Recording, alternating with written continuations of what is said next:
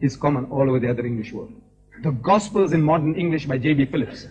J.B. Phillips, in his preface to the Gospel of Matthew, he says, Early tradition ascribed this. Baby, you can call me a superman.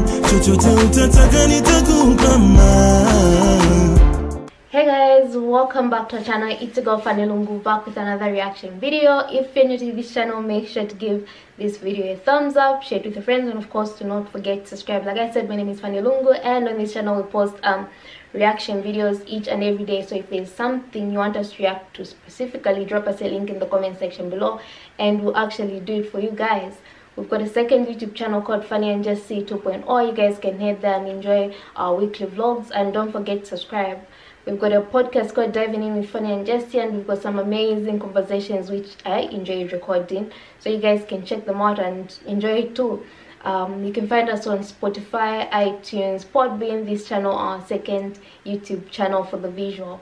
We've got uh, a Patreon and would like for you guys to become members. We'll appreciate the effort.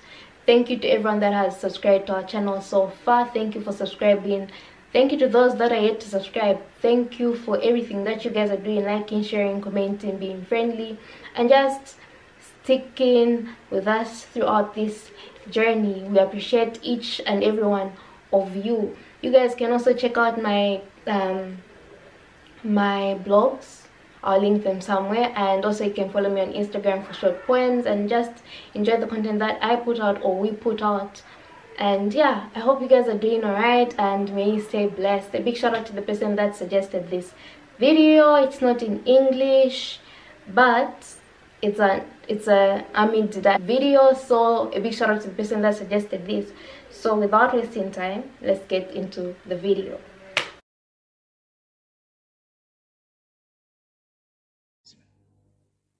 Me, I'm going to go ahead and ask for two quick questions. Uh, one, we ask yeah one one question at a time, please, and we will take the written questions afterwards. You can ask as many questions as you want written.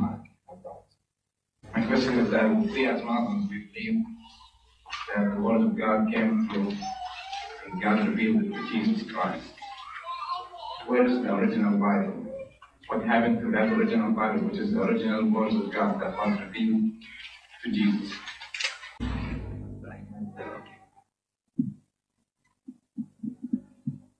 You see, the Gospels, the Gospels do speak about Jesus preaching the Gospel.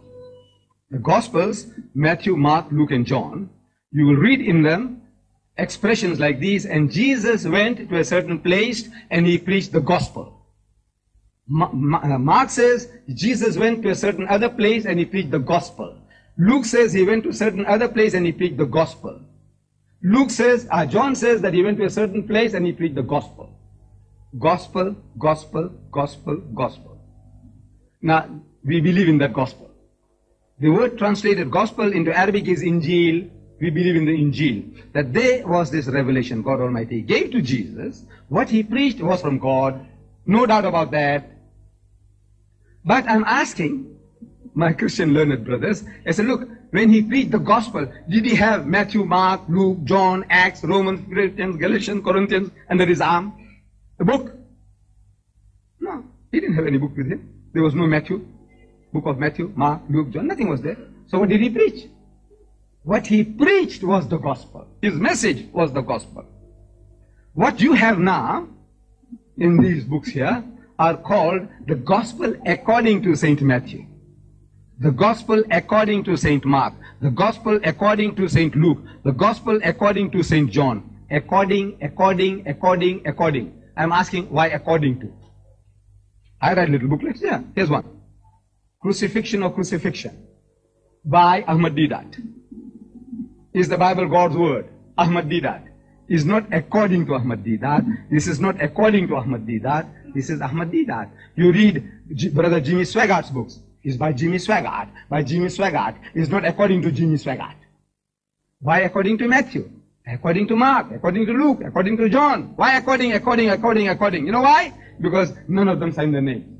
They are anonymous books. This is what you assume that Matthew wrote. This is what you assume Mark wrote. This is what you assume Luke wrote. This is what you assume that John wrote. Therefore, according, according, according, according. Now, this translations into Arabic. You have the Arabic Bible printed by the Christians, by the Bible Society. And they name their books in Arabic. It says Injile Matthew, in the Injil or the Gospel of Matthew. Injil. Injile Matthew, Injile Marcus, Injile Lucas, Injile Johanna. I said, we believe in the Injile Isa. Isa means Jesus. We believe in the Injil, the Gospel of Jesus. Have you got Injile Isa? We will, we will approve it. We will accept it. If there is such a thing, there isn't. Jesus Christ never wrote a word in his life. He never asked anybody to write a word in his life. Not a word was written in his life. Not one word was written in his lifetime. There is the book. So we believe. Some, you asked a question? No. So we believe in the principle that God inspired Jesus. Whatever he said was true. There are some of his words still preserved in the Bible. Like for example, and this is life eternal, Jesus says, that they should know thee, the only true God, and Jesus Christ whom thou hast sent. Do Muslims accept that? Of course. That there is only one true God. It's La ilaha illallah. In the time of Jesus and Isa Rasulullah. Jesus the messenger of God. We believe. See? But now, we said that is what the message, the whole message that he brought is not here. Matthew even didn't write Matthew. Matthew. You see, J.B. Phillips, a prebendary of the Chichester Cathedral in England, a patron of the Anglican Church, he translates the Gospels into modern English. You can buy his book. I don't know whether you can buy it in America. It's common all over the other English world. The Gospels in modern English by J.B. Phillips. J.B. Phillips, in his preface to the Gospel of Matthew, he says, Early tradition ascribed this Gospel to the Apostle Matthew. That's what people said.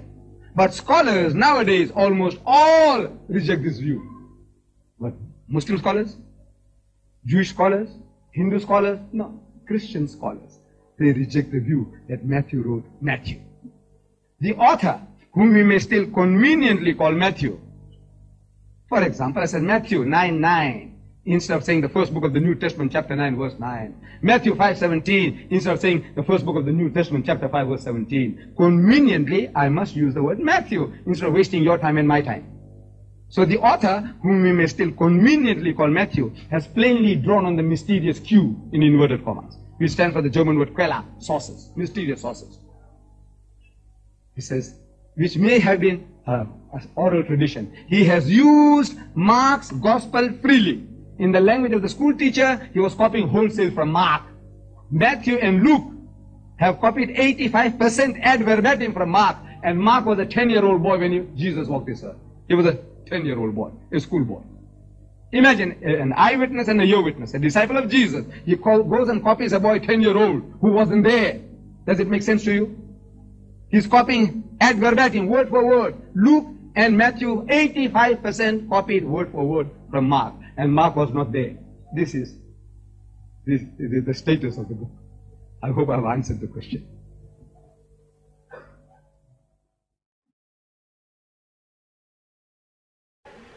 I really love how Ahmed Deedat. Um, I really love how he answers questions. Um, I was thinking, so why not remove these books from the Bible if there's if such a thing exists? How can two chapters say almost the same thing? So why not? My issue is if Christians know that these people are not present when Jesus was on earth, why should people live by them? Why is it so necessary to keep them? Why can they not remove them from the Bible, just revise the entire Bible? Maybe put back some of the verses, not verses, but chapters that were actually removed, and remove these that are highly contested. I'd really love an answer to that. What's the whole point? I really don't get it. I really don't get it. Otherwise, I enjoyed watching this video and listening to Ahmed Deedat. A big shout out to the person that suggested this. Make sure to give this video a thumbs up, share it with your friends, and of course, do not forget to subscribe. And I'll see you in my next reaction video.